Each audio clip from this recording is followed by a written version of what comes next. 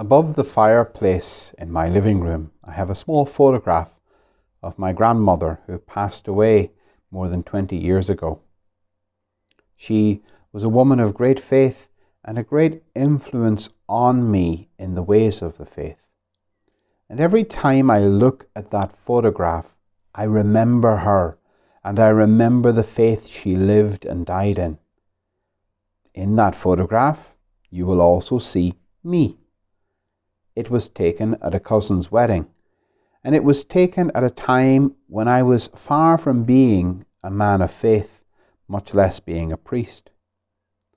And so, when I look at that photo, I am reminded that much of my faith I owe to her witness, and I cannot quantify how much of my return to the faith was as a result of her prayers for me many people have on the walls of their homes photographs of loved ones whose witness of faith, courage, and love have shaped them into the person they are today.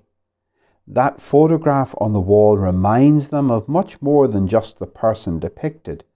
It reminds them of the bonds the Lord forges in the lives of His people, which death cannot break, which persists long after our loved one has departed this life, and which will be experienced once again in heaven, but then with none of the shadows and imperfections which mark so much or so many of our bonds with friends and family members here below. And perhaps some of you have on your walls photographs or portraits of people in your family line long since departed, people you never met, but whose lives and faith have helped shape your life and your faith today. They are on your wall or above your fireplace because they are part of your life story, even if their life story came to an end long before yours began. This same sentiment of respect and reverence is what we Catholics give to members of our big Catholic family who have left the world's stage, but whose lives and influence are still felt by the Church and the world today. And so we Catholics have in our homes and we carry on our person images of various saints, statues and pictures of great men and women of faith whose witness and whose life stories inspire us, encourage us, and have a ripple effect on our life and the life of our church to this day. Chief among those, of course, is Our Lady, Mary Most Holy. Who could doubt that her life and her faith filled response to God are having an effect on each and every human being right now? For her yes to God enabled the Word to take flesh.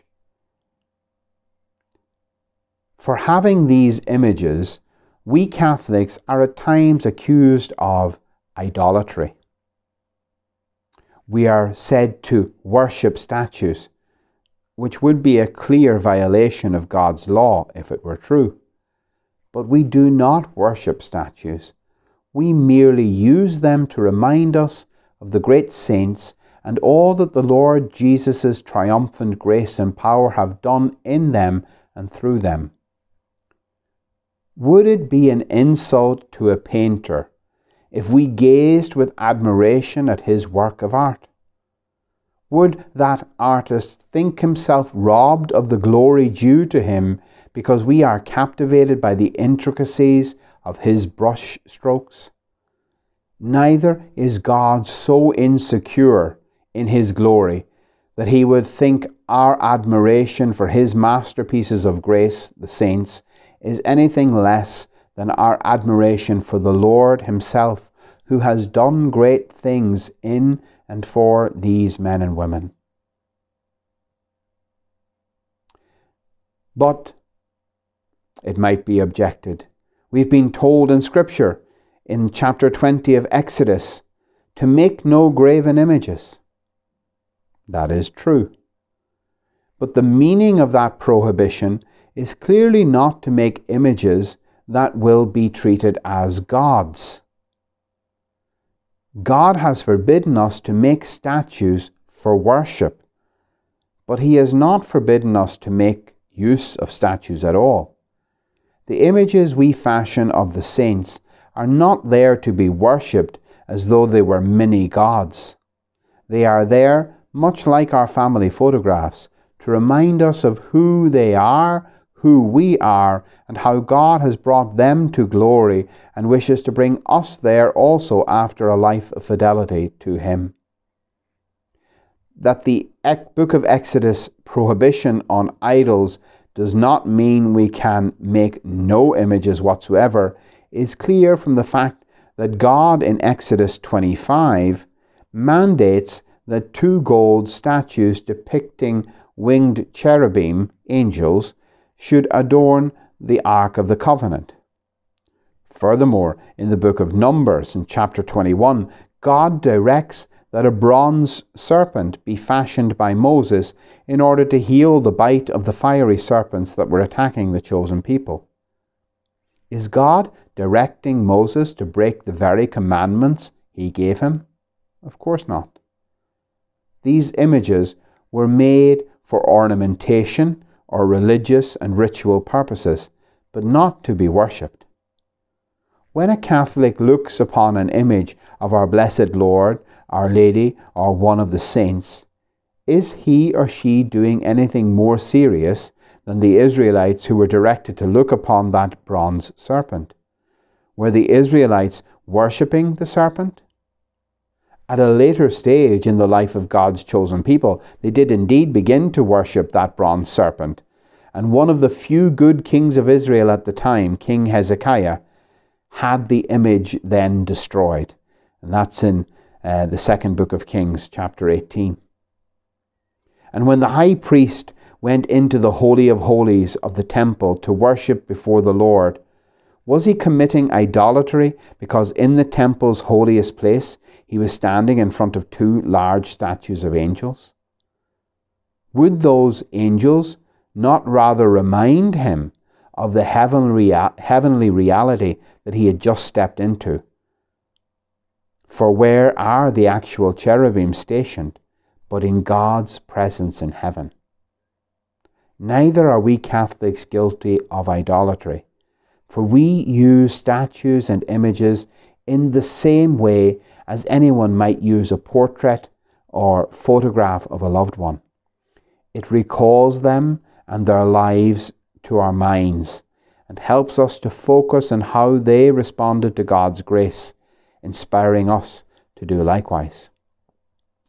And when we pray before a religious image, we are not praying to the image, but rather through the use of the image, we are better enabled to keep our hearts and minds focused on the particular prayer or the particular virtues or teachings that saint has possessed or given as we look upon the usual depiction of Saint Therese, for example, we see her embrace the cross and with an arm full of roses.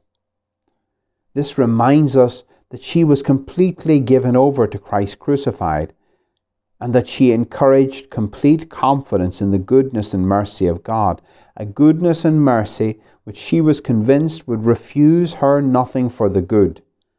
And so she promised that once in heaven she would obtain from the Lord a shower of grace under the symbol of roses for those who seek to enter upon the gospel path that she called the little way.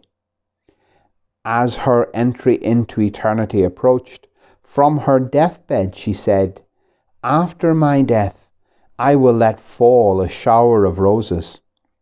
I will spend my heaven doing good upon earth.